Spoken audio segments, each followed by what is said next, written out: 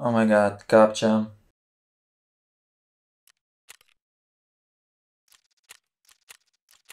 Once again.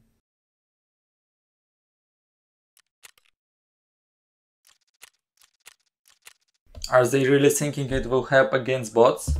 So, what is in plans for today?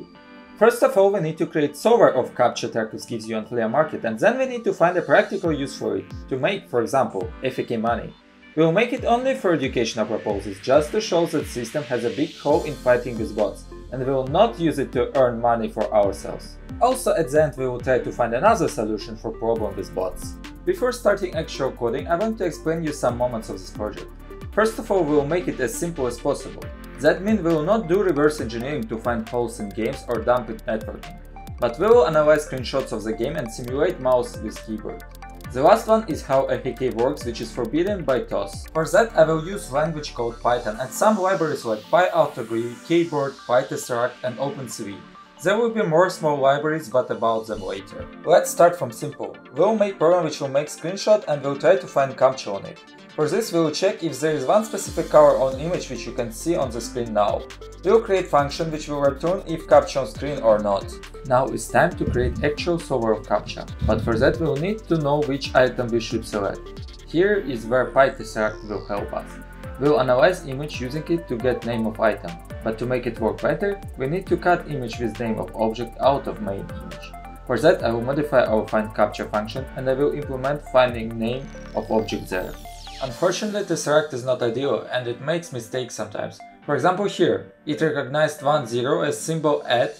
We can easily fix this if we will have a list of all items in game with their names. For that I found website called Tarkov.dev. They have simple API via which I can download list of all items in game and their IDs. I will save it in JSON file and work with it. Now we will firstly make list of all object names and we will find closest string using Levenshtein distance. I'm too lazy to implement it myself, so I will use prepared library for that. We'll go through all names and calculate their distance. The one with the smallest distance will be a string we will return. Now if we will add this to our solving CAPTCHA function, we will see that now everything will be recognized correctly. Next step is to actually match images, but for that we need to get them. Tarkov.dev also gives us ability to download them via set subdomain. We'll create local cache of images and download them only once. We already have IDs of items stored in our namesticks, so there's no problems for us. To match the image on screen we will use match template method of OpenCV, but before it we will resize our template image to the size it should be on screenshot and convert both of the images to black and white. From the beginning we will try to match images which are at least 90% similar. If it will be unsuccessful, we will try again but with more percent until we will not find something which is matched. If we look at the result everything looks fine, but in fact if we look closer we will see that it's matched same image couple of times. This is because if we move image 1 pixel left or to bottom, we will be still in 80% range of matching, and that is why it matches couple of times. It's easy to fix with simple filtering by distance. Now we will just click on positions we will find and on the button confirm, which we will find by manual algorithm. And we will call function again to check if CAPTCHA was solved correctly and if not, we will solve another CAPTCHA. Now we will create infinity loop in main file which will try to find and solve CAPTCHA for us. Let's check how it works and discuss our next steps. Now we will make a AFK bot for earning money. That will show developers that you can actually get advantage from such simple piece of code. And maybe they will redesign anti-bot system. There's items in this game which you can sometimes buy on the market cheaper than you can sell to trader. As an example, Handle, which is needed only at the beginning of the game. So after a couple of months it is really cheap and we can make profit on it. There's more examples of such things. Golden Egg, Nippers, PC CPU, and much more. But for that, we need to make our bot be capable to go between different pages and press buttons. All the buttons to switch tabs, buy things, trader icons, sell button and other are always located on the same position in percent relation to the screen. That way we can just store all of them and click whenever we want. The code for that is also very simple. We will define functions to change tabs, go to traders, sell and buy items. Same way we can make screenshot of specific place on screen where price of object is written. In addition, we will recognize which currency it is and remove currency sign for better recognition.